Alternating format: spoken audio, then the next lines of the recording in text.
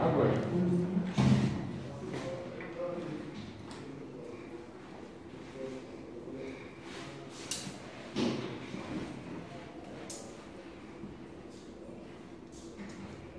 Como que é teu nome?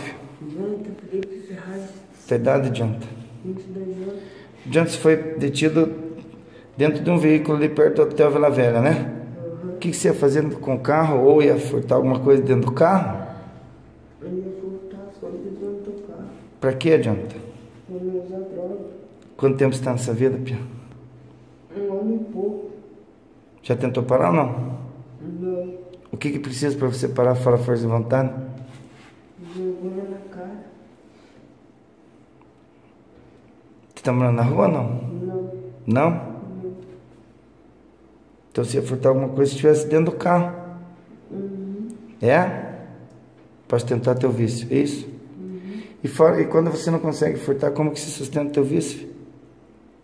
Eu não fumo, fumo todo dia. Não usa todo dia? Não. E você trabalha ou não?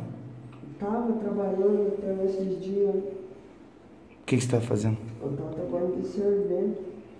E por que, que parou? Porque acabou o serviço de homem, não pegou mais nenhum pra nós fazer. Então tá bom. Se você tivesse uma clínica compulsória, você queria ser internado ou não? Hã? Então olhe para mim e fale para poder entender. Você quer? Quero. Então se existisse uma clínica que você fosse obrigado a se internar, você quer? Quero.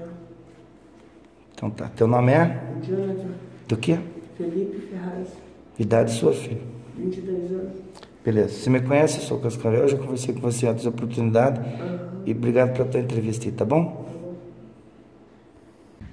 Tenente Araújo, boa noite. Boa noite. Mais uma vez, a ação rápida da Polícia Militar foi fundamental para que vocês efetuassem a prisão do cidadão no momento que ele ainda estava dentro de um veículo após ter arrombado o carro ali na Baldino Táxi, na região próxima ao centro de Ponta Grossa, né? Exatamente. Então, o proprietário do veículo ele trabalha no restaurante. Então, saindo do restaurante já do serviço, se deparou aí com um indivíduo dentro do, do veículo dele, praticando furto, ou tentando praticar esse furto, retirando o rádio de dentro do veículo. tá? Então, foi detido já pelo proprietário, acionou com brevidade a Polícia Militar pelo, pelo 190, né, pelo telefone, apesar de a gente ter o, o aplicativo.